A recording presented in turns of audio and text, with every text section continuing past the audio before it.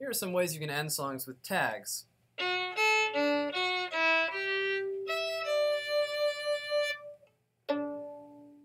Pluck the home note.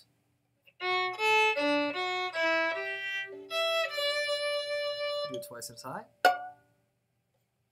You can bow something like this.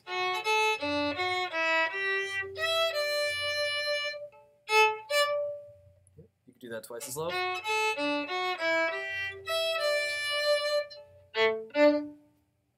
You could do a little lick like this.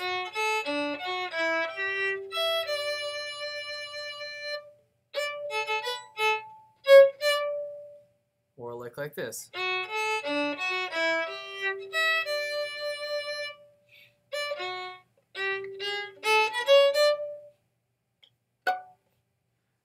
You could do something, let's see, like this.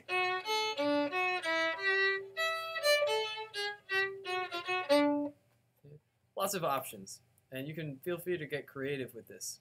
All right, good luck.